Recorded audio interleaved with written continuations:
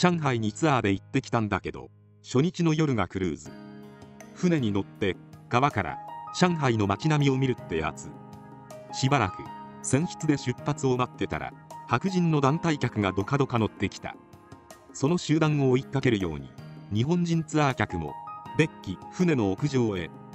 何人か知りたいけどヘタルなので日本人は誰も話しかけず他にいる中国人とどうか船が出発したら上海の夜景バックに写真ばっか撮ってた。しばらくして折り返し地点に来たのか船は U ターン。それまで船のスピーカーから流れてたクラシックがパタリと止んだ。白人集団が輪を作り出したかと思うとアカペラで合唱しだした。やたらキラキラピカピカの夜景と曲知らないけど良い声のコーラスに一同テンション上がる。何曲か聴いて俺は決心。曲の切れ目を狙ってやたらでかい白人のおじさんにアタック。下手くそな英語で「以下役俺良い歌でしたよ。ありがとう。白どういたしまして。俺私たちはラッキーだ。あなた方の歌が聴けて。白それはありがとう。なんか話し切って次の曲に行きたそうだ。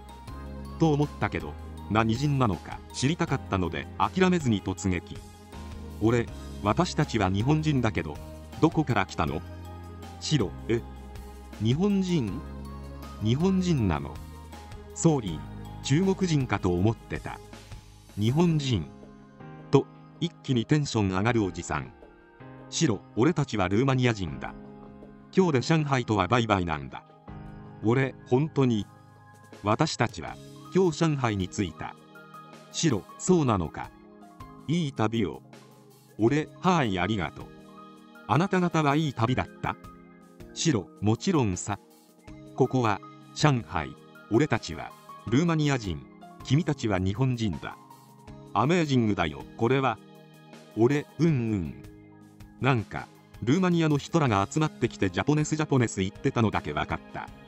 おじさん曰く日本の歌を歌おうと思ったけど誰も知らんだと。船が桟橋に戻る頃には俺以外のツアー客もルーマニア人集団と話すようになってた。別れ際では「ありがとうさよならジャポネス一番」と日本語使ってくれてこちらこそありがとう状態。さっきのおじさんにルーマニアの言葉でセイグッバイしようと思ったけど誰も知らない。と言ったら大爆笑されて別れた。日本人だと言った瞬間ヒゲモジャの巨漢の顔が明らかに輝いたのが嬉しかったな。言う前が不審そうな顔だったのを思い出すと吹く。中国人何したんだよ。